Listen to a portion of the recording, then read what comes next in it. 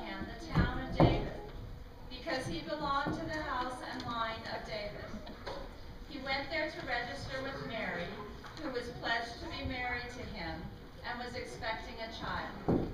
While they were there, the time came for the baby to be born, and she gave birth to her firstborn, a son. She wrapped him in cloths and placed him in a manger, because there was no guest room available for them.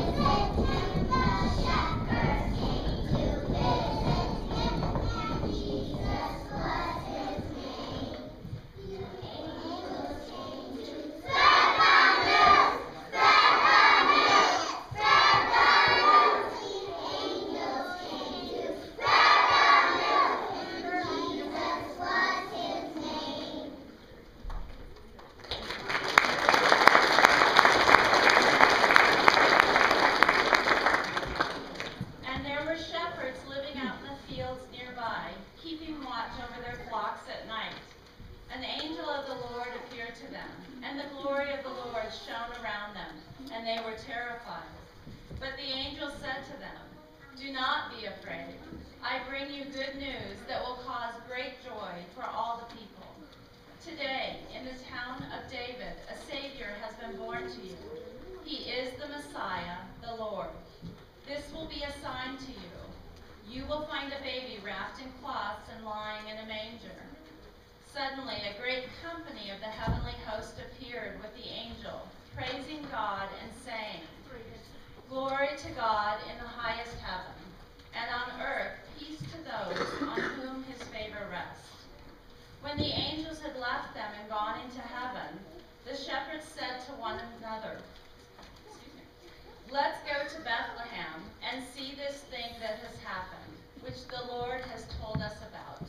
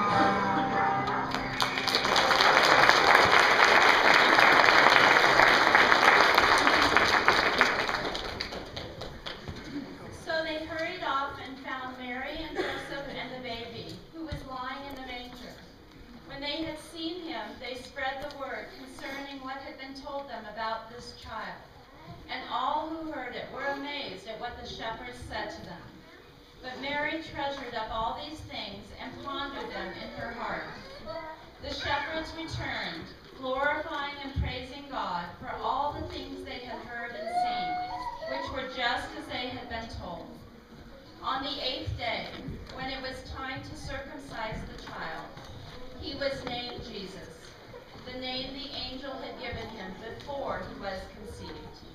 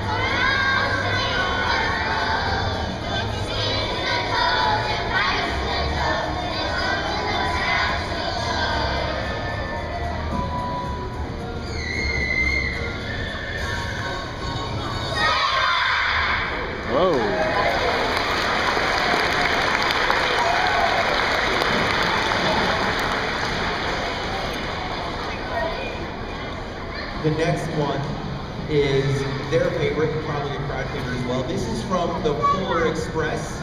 This is hot chocolate.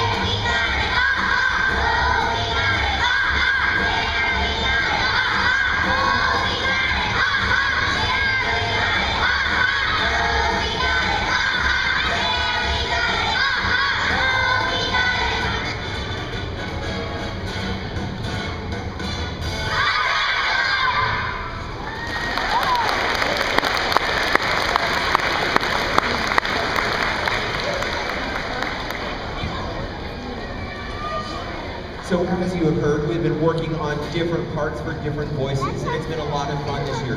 The next song that we're going to do is a similar idea where we have different parts that are going to be sung at the same time.